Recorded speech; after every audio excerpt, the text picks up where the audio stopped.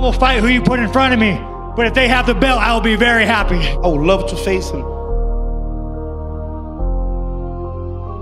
I don't care about it. I just want to fight. I want to fight. I want to make money. Thanks. Poatan Pereira! A lot of people criticize my grappling, my ground, and I came here and showcase what I do every day. Fighting uh, the same card as Izzy and Cannonier. Yeah, so I'm hoping it's more of like the winner gets the next title shot, you know. Sean Strickland!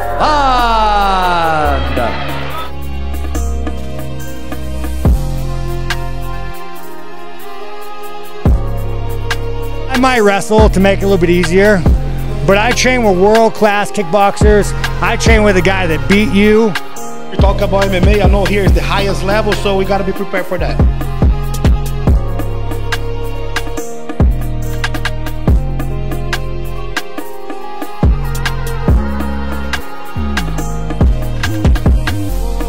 End of the day, we get we locked in the cage, we punch each other in the face, we try to kill each other, we make somebody millions, and we get paid fractions of that.